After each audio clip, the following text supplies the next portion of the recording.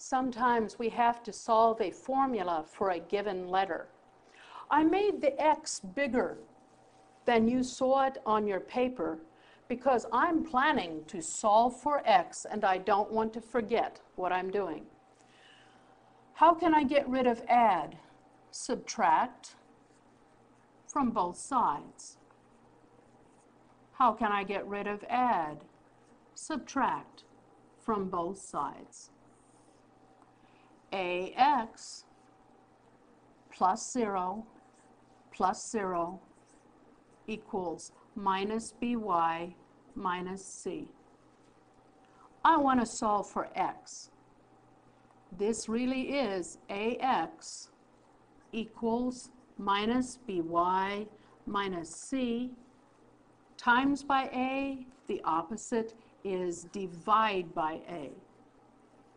See the big divide by sign? It still means divide.